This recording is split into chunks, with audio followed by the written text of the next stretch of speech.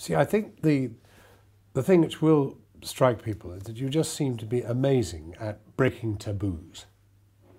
You know, there are things old people don't talk about. I think that in many families there are two sorts of children. One lot grow up taking what their parents believe and believing it. And one, usually individual, grows up asking questions, is the freak. And I was the freak. I grew up asking questions because I knew, I knew when I was 15 that I didn't believe in God. And they all did. I knew when I was 16 that I was going to vote Labour when I voted.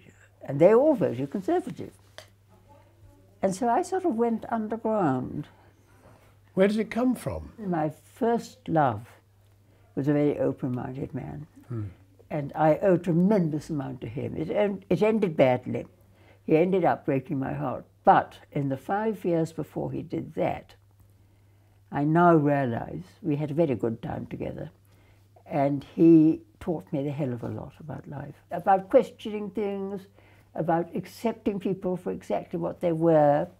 There was a thing that I've always remembered as being vitally important that I got from him.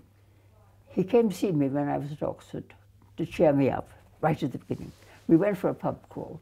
He said, we're going to meet an old friend of mine. You're going to like him very much.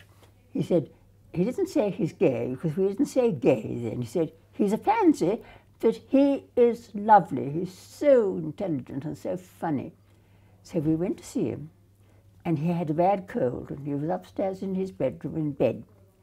And we went up to his bedroom, and there he was in bed with a bottle of whiskey. We got into bed on either side of him, Tony and me, and we lay there drinking whiskey. And I thought, I mean, I only just knew what a homosexual was. I thought, here I am, in bed with a homosexual drinking whiskey with Tony. This is bliss. This is this, you know, it instantly made me accept people for what they were.